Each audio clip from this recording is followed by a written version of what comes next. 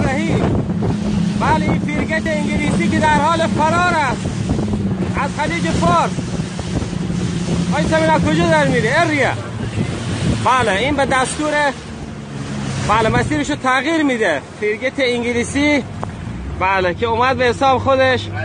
اسکورت کنه شناور تجاری انگلیس رو اما خودش داره فرار می‌کنه از منطقه در حال خروج است. خاک بر سرتان خاک بر سرتان. دروغگوها روباه پیر. از دست دلاور مردان و شیر مردان ایرانی نمی‌تونی فرار کنی. اینجا مهد و سرزمین ایرانی است. اینجا خطه از اسلام اینجا آبهای نیلگون خلیج فارس است از همون خوب کار می‌کنید فرار کنید جانتان را بردارید اینجا بروید. این محلکه نیست که شما در آن رستاوری کنید اینجا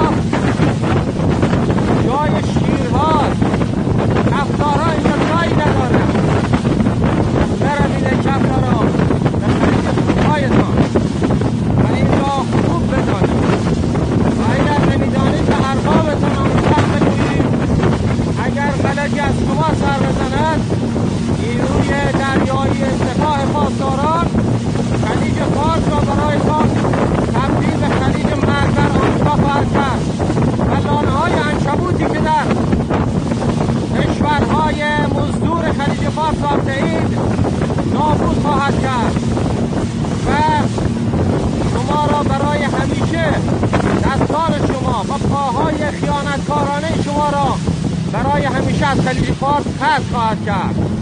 السلام علیکم و رحمت الله و برکاته 17 5398 جنوب جزیره بوسا خداحافظ.